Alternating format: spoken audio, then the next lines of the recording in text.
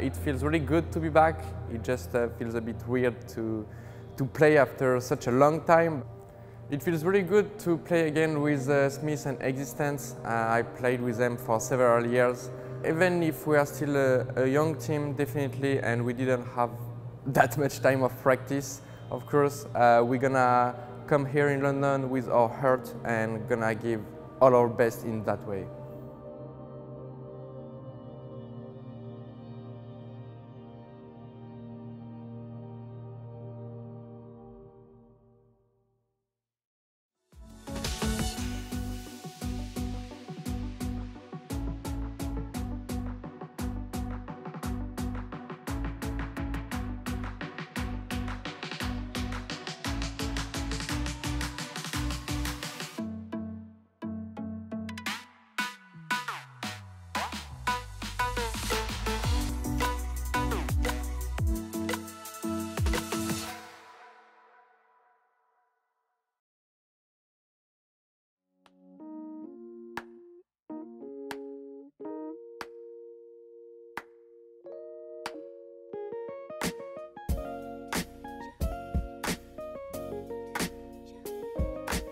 We don't have almost like zero preparation for this tournament, so we take it as experience. Uh, we were really excited to, to play again, like all the hype and stuff.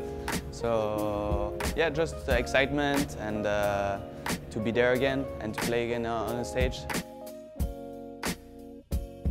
Donc pour parler maintenant de, l'équipe, euh, je vais retrouver les trois joueurs euh, avec qui j'ai joué chez Games, donc Shock, Smith et Kenny. Euh, donc je suis très heureux de les retrouver et je vais jouer avec un joueur avec qui j'ai encore jamais joué, donc Alex, donc un jeune joueur de, de talent qui a encore beaucoup de choses à apprendre.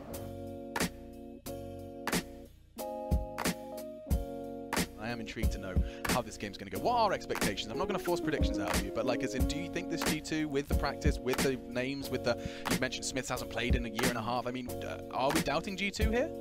Yeah, we, we, we should be. Like, Right. there's nothing that tells us that G2 is going to come in here and, and do well at the first event ever. Uh, it looks like we are ready to play Mirage. You say Smith has been out. Remember, he was the coach, so he has at least been around Sure. to some capacity. I'm sure a lot of you are excited to see how this G2 looks. They haven't had much practice. And here comes CeRq as he completely destroys bodyy there. Kenny S will surely follow. And that's going to be a 5 versus 3 to kick things off. Oftentimes happens much earlier. Run boost. CeRq takes the bait, fires into it, but that's because Brehze's still nearby, so he's able to get okay. a shot. I'm surprised that didn't hit. Ex6tenz gets CeRq down, and it's the advantage to G2. They have to win this pistol. Shoxy goes towards B. Let's see if NRG can close it out quickly or G2 at least make it more competitive. First two kills for Shoxy. Can he find any more? You better bet he can as uh, he'll get three kills. And it looks like the round will be going in their favour. It's going to be four versus one. Fugly at this point is trying to farm some cash. Oh, Shout out to the Cloud9 boys. Fine from Kenny. Turns it around, spots Ethan working up as well as he boosted inside the window. He might get them all. That's four. That should be GG here, and indeed it is. What a disappointing game. Well played to NRG, didn't seem phased at all with the prospect of playing against these utter legends of the team, or of CSGO in general. And uh, G2, they you can tell that they need practice, they need some time. This map's not for them. Maybe the veto didn't go the way they wanted. Uh, it's a difficult veto to be up against when it's just ban, ban, ban, ban, ban. Seven maps in the pool, ends up with something you're not comfortable playing. NRG might have been very smart. They played really good. When you're down like 11, it was not even 0, it was 11-1 or 10-1. Uh, no, like we, we have a really good mentality on this and we just try to, to do things like we a bit prepared, like just to see if it works and stuff. Uh, almost every time, like NRG was playing uh, bets on the all the sites we were attacking, so we were kind of, I don't know if it was obvious or like we will see after when we will be working on it.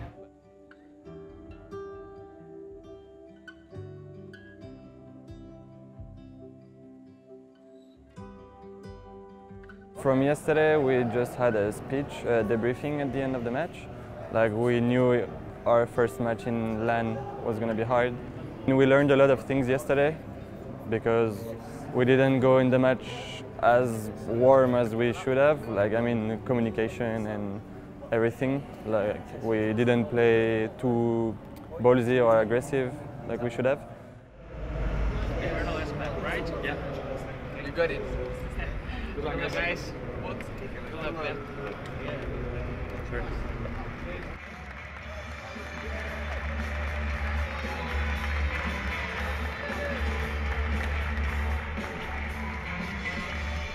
some noise, London. It will be G2 versus Luminosity here in the quarterfinals, battling for a place in the semis, and they've both looked scrappy so far, but we'll see who comes out top here. It's going to be a nice little duel, and G2 finding all the headshots required those clocks. It's an absolute massacre in the connector.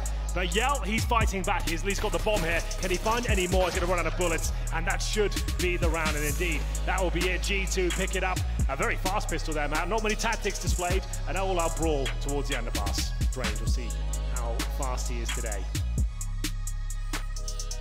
Nails alongside with them. Head shows oh. perfect shot from Kenny. Reads it so well, and he doesn't extend beyond where he has to. When he does, down goes PKL as well. Kenny's looking back on form. It's encouraging for G2. They've got one more player to find before the A site completely open, and Showtime goes first because he knows he has to pull the round back. Smiths won't allow that at all. Needs to fully defuse the bomb here. Doesn't look like he has a chance. He's starting to flail somewhat, but there's the first frag. Molotov on top of the bomb, but that smoke is absolutely everything. Can go for the defuse. Has got the kit. Two, one. Can Kenny do anything about it? He can. Oh my goodness. Kenny comes in and saves it with one second to spare. That's unfortunately, he will be dropped eventually. Four versus four, no kits available, and they're dropping like flies. This position from bodyy is absolutely everything. Looking for the clean sweep, couldn't quite find it at the end, but that's going to be enough to guarantee the round. He waits from window, smoked off. It's a deep smoke. He may have been able to play that on the ledge and still be able to fall back inside of it, but he commits to getting inside of the site, and rightfully so. He's able to take down Neck on arrival. AWP for bodyy this time, and Steel falls next. Kenny on the flank. Map done. G2 are going to take Luminosity's pick 16 to 9.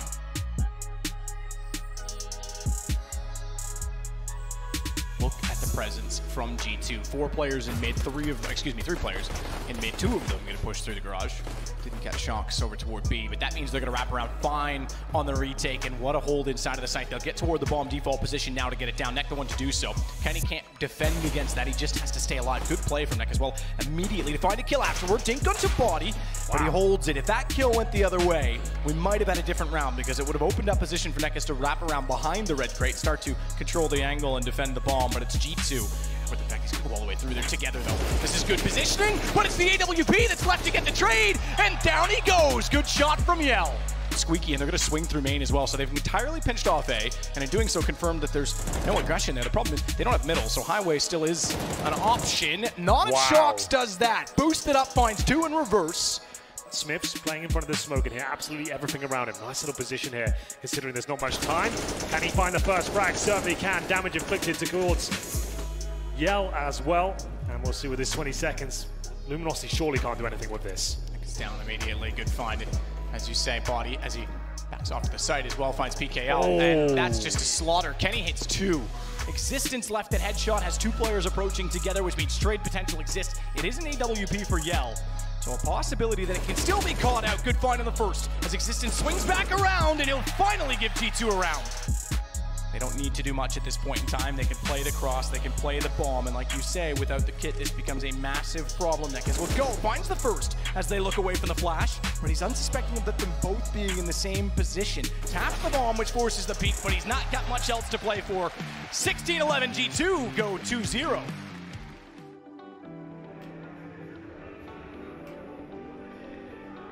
From this match, Luminosity, we just came and like we played our game. We said, okay, we passed our first LAN match. Everything is gonna be better now, and we had the good debriefing yesterday, and all the communication, the, the tactics were was going better.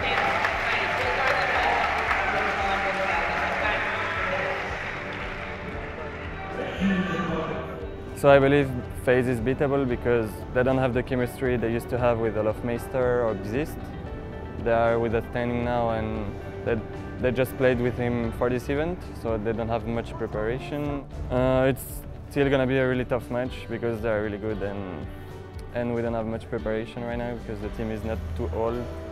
So yeah, it's gonna be tough. It's gonna be tough, but we can do it.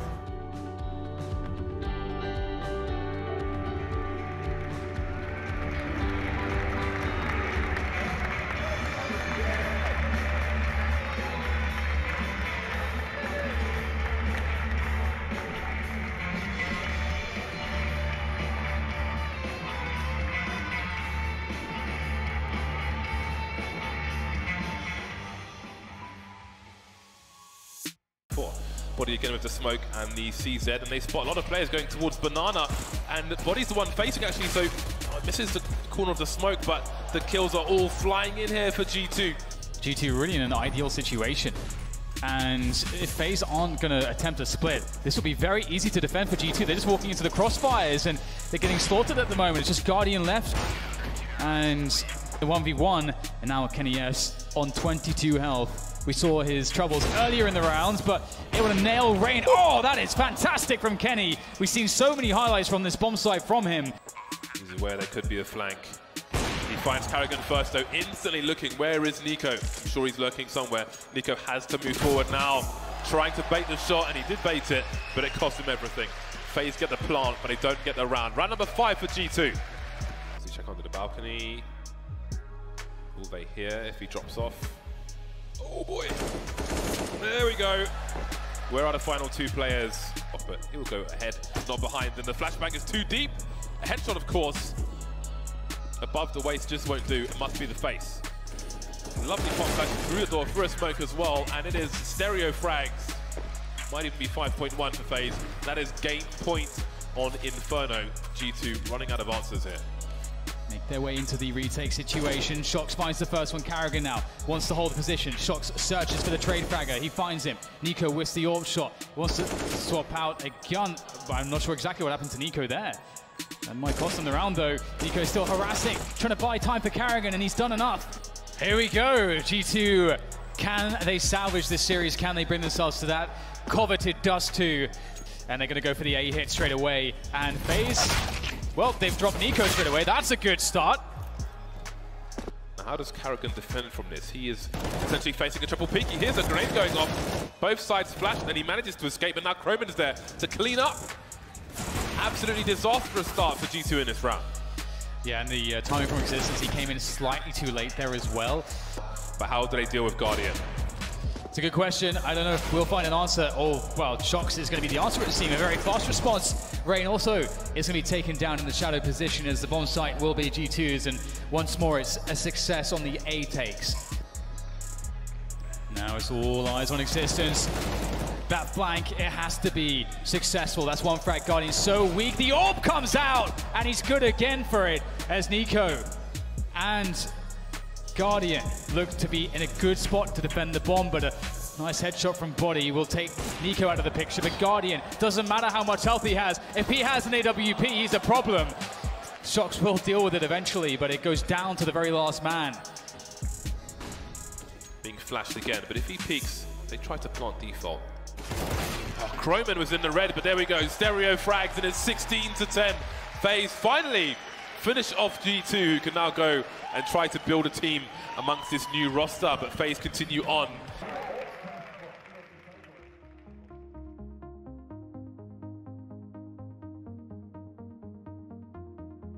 We have an idea where we have to put the work and I think that's the best thing and definitely having like uh, more than two or three weeks of practice will help us growing a lot.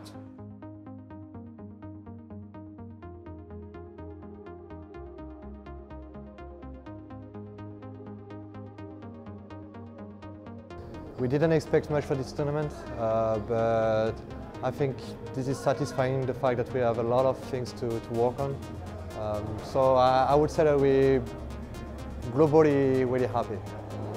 I mean, the, the, the chemistry the team is really great. Uh, I haven't experienced that for a while and I'm really happy and we're all really happy to be together.